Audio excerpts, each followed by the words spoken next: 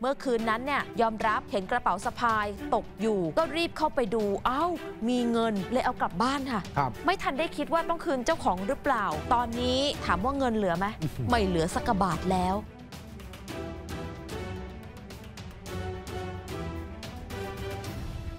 จิตสำนึกเรื่องความซื่อสัตย์สุจริตต้องมีอยู่ในตัว ถ้าไม่มีเวลาไปเจอของเจอเงินเจอทรัพย์สินล่อตาล่อใจ เอาเป็นของตัวเองมีความผิดถูกไหมคะ เหมือนพนักงานหนุ่ม เป็นพนักงานทำความสะอาดคุณผู้ชม ไปเก็บเงินแสนได้ โอ้โห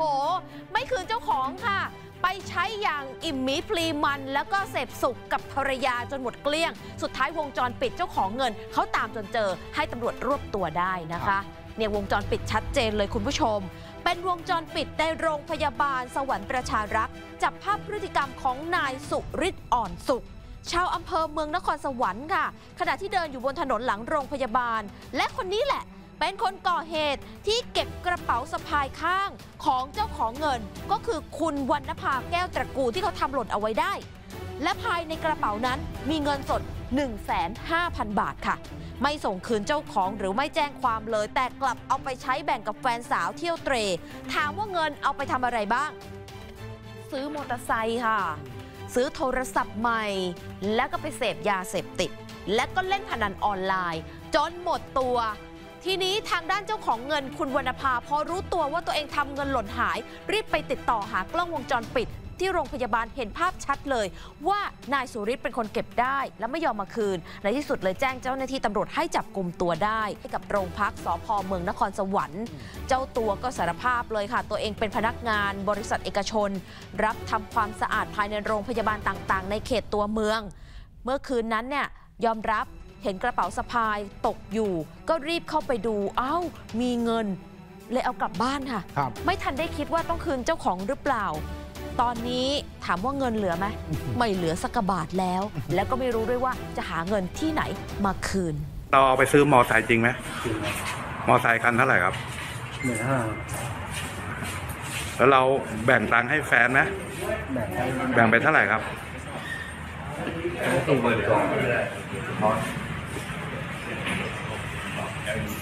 สี่หมื่นสองแล้วเรายอมรับแล้วใช่ไหมว่าเรา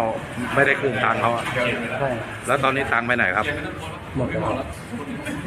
เราไปทำอะไรหมด ลงพนันหมดแล้วเล่นพนันหมดด้วยอืมนี่แหละค่ะ ไปเสพสุกจนหมดเนี่ยนะ ทีนี้เจ้าของเงินก็คือเขาเป็นแม่ค้าขายวัวค่ะ คุณผู้ชม คุณวรรณภาเนี่ยบอกว่าตอนนั้นตัวเองไปกดเงินที่ตู้ ธนาคารตู้ ATM ของธนาคารเนี่ย 75,000 แล้วก็มารวมกับเงินในกระเป๋าที่มีอยู่ 30,000 รวมแล้วก็ 15,000 บาทกำลังจะไปซื้ออาหารเลี้ยงวัวฝูงใหญ่ แต่คืนวันเกิดเหตุตัวเองไปเยี่ยม ไปเยี่ยมผู้ป่วยที่โรงพยาบาลก่อนไงคะแล้วก็เอากระเป๋าเงินอันเนี้ยฝากไว้กับแฟนบนรถ แต่ก็ไม่แน่ใจว่ากระเป๋ามันตกรถไปตอนไหน ก็เลยไปขอดูกล้องวงจรปิดของโรงพยาบาลบอกเอ้า เห็นในคนเนี้ยพนักงานทำความสะอาดบริษัทเอกชน เป็นคนเก็บได้ แล้วก็ตามตัวอยู่หลายวัน